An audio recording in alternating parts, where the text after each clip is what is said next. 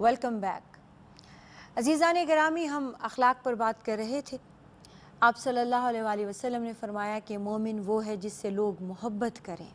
جو دوسروں سے محبت نہیں رکھتا اور کوئی اس سے محبت نہیں کرتا، تو اس شخص میں کوئی بھلائی نہیں ہے۔ اسی طرح آپ نے فرمایا کہ صاحب ایمان وہ ہے جو اپنے مہمان کی عزت کرتا ہے۔ ایمان اس میں ہے جو اپنے مہمان کی عزت کرتا ہے اور مہمان کی عزت کرنا ہمارے بہترین اخلاق میں سے ایک خلق ہے۔ مومن وہ ہے جسے لوگ امین سمجھیں، اپنی چیزیں اس کے پاس چھوڑ جائیں۔ مسلم وہ ہے جس کی زبان اور ہاتھ سے لوگ مسلمان محفوظ رہیں۔ مہاجر وہ ہیں جو بدی سے ہجرت کریں، چھوڑ دیں، گناہوں کو چھوڑ دیں۔ اس ذات کی قسم جس کے قبضے میں محمد صلی اللہ علیہ وآلہ وسلم کی جان ہے، کوئی اس وقت تک جنت میں داخل نہیں ہو سکتا جب تک کہ اس کا پڑوسی اس کے غصے اور ایزا سے محفوظ نہ ہو۔ یہ ایمان کی قسمیں ہیں اور در حقیقت یہ اخلاق ہیں۔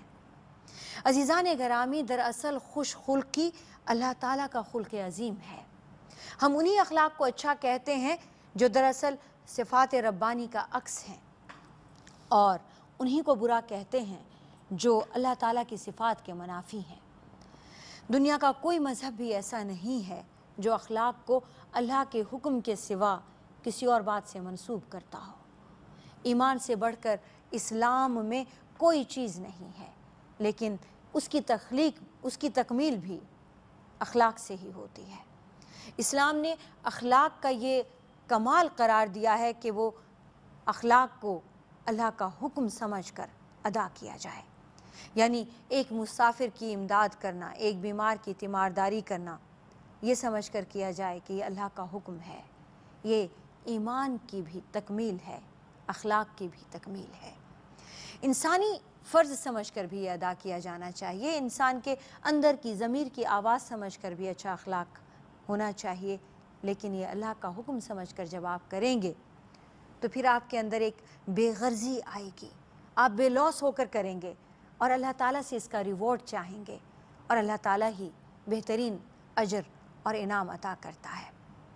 اسلام میں اخلاق بھی دوسری مذہبی چیزوں کی طرح عبادت ہے۔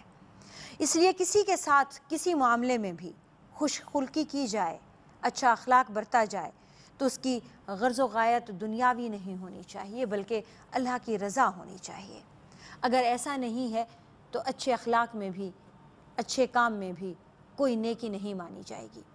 ہمارے کام میں جس قدر بھی اخلاص شامل ہوتا ہے، اسی طرح اتنا ہی وہ کام قابل قدر ہوتا ہے۔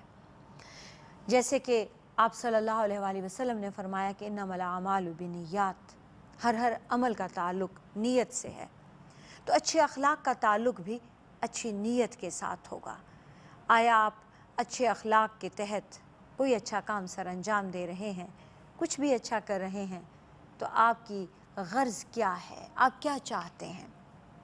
ایک شخص مثال دی گئی ہے کہ ایک شخص رات کو اندھیرے میں کسی کو اپنے گھر بلاتا ہے اور اس کی نیت یہ ہے کہ یہ اندھیرے میں رات میں آئے گا، گر گرا کے مر جائے گا یا اسے ڈاکو لوٹ لیں گے۔ اب وہ شخص نہ تو اسے تکلیف پہنچتی ہے، نہ کسی ڈاکو کے ہاتھوں لٹتا ہے، بلکہ اسے راستے میں اشرفیوں کی تھیلی بھی پڑی ہوئی مل جاتی ہے اور وہ صحیح سلامت آپ کے گھر تک پہنچ جاتا ہے۔ اس کے مہمان کو کچھ بھی نہیں ہوا، لیکن کیا اس شخص کو، اس کو بلانے پر اجر ملے گا کہ اسے اشرفی پڑی مل گئی؟ اسے مال بھی مل گیا، اسے کوئی تکلیف بھی نہ ہوئی؟ یا اسے گناہ ہوگا کہ اس کی نیت کسی کو گھر بلانے پر تکلیف دینے کی تھی؟ اسی طرح دوسرا ایک شخص نیک نیتی سے کسی کو اپنے گھر دعوت دیتا ہے کہ وہ آئے، کھانا کھائے۔ بیٹھے گھڑی بھر کو اور پھر چلا جائے۔ لیکن راستے میں اس کا ایکسیڈنٹ ہو جاتا ہے یا کسی گڑھے میں گر جاتا ہے، مر جاتا ہے۔ تو کیا اسے قتل کا گناہ ہوگا کہ اس نے اپنے گھر بلا کے اسے مار ڈالا؟ عزیزان گرامی، ایسا نہیں ہوگا۔ جو آپ کی نیت ہوگی، اس پر آپ کو اجر ملے گا، بھلے وہ آپ اچھے اخلاق کا مظاہرہ ہی کیوں نہ کر رہے ہوں۔